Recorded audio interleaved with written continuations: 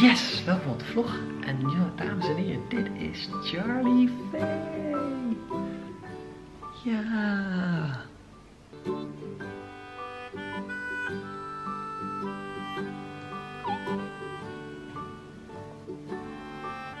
Die ligt lekker te chillen. Het is uh, half zeven ochtends.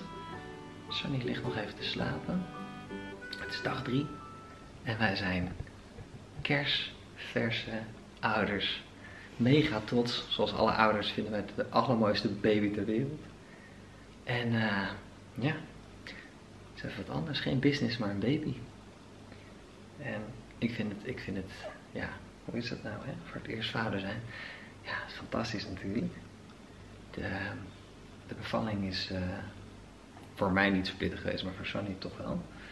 En uh, ik heb mijn best gedaan om zoveel mogelijk te supporten waar ik dat kon. En na 26 uur was Charlie Vader.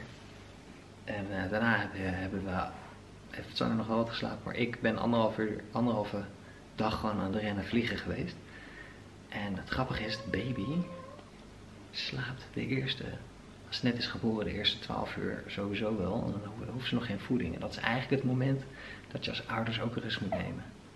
Dat heb ik niet zo heel erg gedaan, want ik heb heel veel lopen opruimen en schoonmaken. Uh, en daar heb ik uh, later wel weer spijt van gekregen. Zo leer je dus dingen. Maar nu, gaat, uh, nu zijn we alweer een stuk fitter. We gaan gewoon lekker de hele nacht samen daaruit. Om samen Charlie V te voeden. En ja, het is fantastisch. Wat ik heel grappig vind zijn al die... Je leert zoveel over baby's. En wat ik zo grappig vind is die gezichtsuitdrukking als je haar wakker maakt. Soms moeten we haar wakker maken om te voeden, soms wordt ze uit zichzelf wakker. Dan wordt ze zo wakker. Een beetje zoals ik wakker word als je me s'nachts wakker maakt. Zo grappig. En uh, Sunny ging gisteren de nagels veilen, toen werd ze ook zo wakker. En doen. Ging ze weer slapen. Dat is echt mega schattig.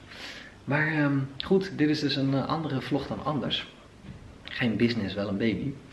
En ik heb de komende twee maanden vrijgenomen. Dat is het mooie als ondernemer, dat je daarin heel veel vrijheid hebt. Dus de komende twee maanden heb ik een paar meetings, maar niet zo heel veel. Wellicht komt er wel een vlog met de baby. Laat maar even weten wat jullie ervan zouden vinden. Dan gaan wij weer verder tunen. Ciao.